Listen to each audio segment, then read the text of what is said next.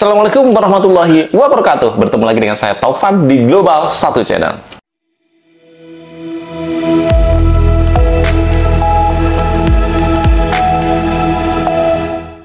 Uh, teman-teman kemarin waktu minyak goreng langka saya sempat beli air fryer dari Advent ini belum saya review kemarin ya jadi kebetulan ini ada waktu jadi saya review sekarang teman-teman ya jadi ini adalah electric air fryer dari Advent dengan menggunakan watt 600 watt dan juga di sini ukurannya adalah 2,4 liter ini tuh masih manual ya teman-teman nanti masih manual jadi ini harganya lebih murah daripada yang digital Nah, jadi kayak gini untuk spesifikasi singkatnya bisa dilihat dari dosbooknya ya. Nah, untuk yang ini adalah modelnya ADF24A yang saya beli kemarin ya. Jadi ini untuk menggoreng tanpa minyak. Jadi bagus sih buat yang diet minyak ya. Apalagi buat dipakai waktu kita langkah minyak goreng kemarin ya. Nah, ini adalah electric air fryer menggunakan tanpa minyak model ADF 244 modelnya ini 24A kemudian kapasitasnya 2,4 liter konsumsi dayanya 600 watt tegangan masukan AC 220 sampai 250 volt frekuensinya 50 Hz dan dimensi inner boxnya 265 kali 265 kali 250 mm kita unboxing ya check it out.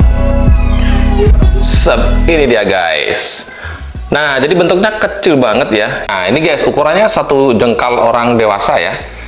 Jadi kecil banget nih guys. Jadi walaupun kecil dia ukurannya 2,4 liter loh. Kita lihat ya dalamnya seperti ini. Nah ini teflonnya ini anti lengket udah pernah dicoba kemarin ya.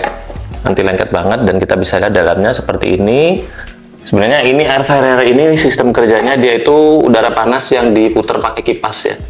Nah ini muter jadi panasnya bisa merata walaupun kita tumpuk-tumpuk. Di sini walaupun kita tumpuk ya dia bisa matang juga. Nah terus ini menggunakan timer jadi bukan digital. Timernya kayak mesin cuci itu ya. Jadi kita putar gini nah dia bunyi. Kalau udah selesai di off dia bunyi ting gitu ya. Nah ini bisa sampai 30 menit ini 5 menit 10 15 20 dan 25 30 menit. Ini tulisan advance kemudian ada tulisannya digital nah teman-teman ya ini jangan sekali-sekali diputar ke kiri berlawanan ya jadi biar sampai selesai kalau misalkan terlanjur. Ini belum saya colokan nah untuk cara pemakaiannya teman-teman bisa lihat panduannya di atas. Nah ini ya petunjuk pemakaiannya. Jadi bisa dilihat dari atas. Kalau untuk friend untuk French fries 15 sampai 17 menit, kemudian fish 15 sampai 20 menit, vegetables 10 sampai 12 ya. Jadi sudah ada, sudah ada keterangan di sini. Tapi kalau misalkan nggak ada, kalian bisa kira-kira aja. Nanti misalkan kurang, kita tambahin lagi. Jadi kita pakai 20 menit, misalkan kurang, kita tambahin lagi seperti itu. Ya, ini ada cake, bisa untuk stick, chicken like, kemudian chicken wings, kemudian prawn, bisa untuk dried fruit ya atau buah-buahan Chinese kemudian saus bacon dan chicken chop. Nah untuk bagian belakangnya ini simple ya. Nah itu tadi kalau sudah selesai dia bunyi ting gitu teman-teman ya. Nah ini ada untuk perputaran udaranya ya. Ada di sini dan di sini. Terus kabelnya ini pendek ya cuman satu meter aja. Oke langsung aja kita tes ya teman-teman. Kita nyobanya pakai ini ya. Ini kentang goreng langsung udah diiris-iris beli di Shopee harganya Rp20.000 saja teman-teman ya. Jadi ini udah siap goreng ya. Ini dari Mentaku Frozen French Fries. Dan ada label MUI nya jadi halal. Oke? Okay? ini 500 gram kurang lebih harganya Rp20.000 teman-teman ya. Kita pakai ini aja lah untuk untuk kita pakai ini aja untuk mencobanya ya kalau pengen kalau pengen beli teman-teman nanti saya kasih linknya juga. Kalau pengen beli ini ini sebenarnya enak sih buat cemilan. Tinggal goreng sendiri tinggal dipakai air sendiri. Jadi udah udah potongan kayak gini udah tinggal kita kasih saus sendiri dan potongannya bagus-bagus guys. Nah seperti ini. Nah kayak gini ya. Potongan udah bagus-bagus dan bentuknya udah putih kayak gini ya bersih. Kita coba kita coba sedikit gini aja ya kita masukin dulu. Jadi tinggal masukin kayak gini.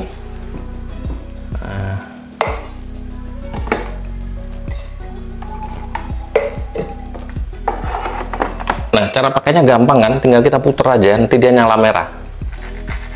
Nah seperti ini. Kalau untuk french fries atau kentang kurang lebih 15 sampai 17. Jadi kita pakai yang ya kira-kira 20 menit lah.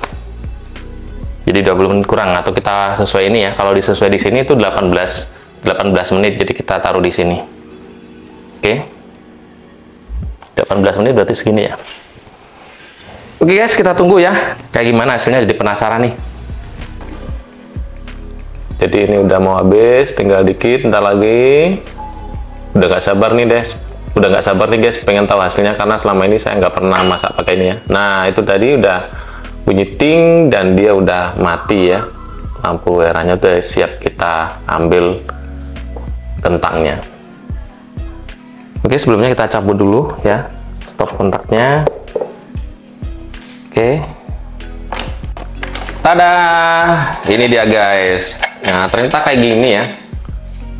Teksturnya ini ada yang gosong dipikir mungkin dia kalau yang gosong tuh yang tipis mungkin ya, nggak rata ya. Tapi kalau menurut kalian gimana guys? Ini kan udah sesuai dengan petunjuk yang ada di sini ya, ada di tulisan atas. Nah, teman-teman ya, jadi kalau ini ada yang putih yang ini ya, tapi ini udah empuk ya. Hmm, udah mateng enak ya nah jadi ini matangnya pas ya menurut aku. Jadi kering dalamnya juga kering. Memang ada satu dua yang satu dua kayak gini yang belum satu dua yang kayak gini yang kering ya. Tapi nggak terlalu gosong sih menurut aku ya. Masih bisa dimakan.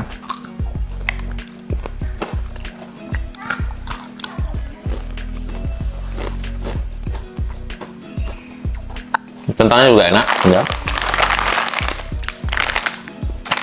dari mentaku ya guys ya. Harga 20 ribuan. Kalian bisa beli Shopee kalian klik aja. Nanti saya kasih linknya di bawah ya. Untuk link pembelian ini air fryernya saya tulis di bawah juga di kolom komentar. Jadi kalian tinggal klik aja di situ. Harganya cukup murah nggak nyampe 300 cuman di sini harus pakai daya minimal 900 watt ya. Karena untuk air fryer memang dia kan butuh panas yang besar jadi menggunakan daya yang besar juga jadi kebanyakan sih fryer itu di atas penggunaannya di, di atas daya 450 watt ya. Buat teman-teman ya, sekian dulu video kita kali ini.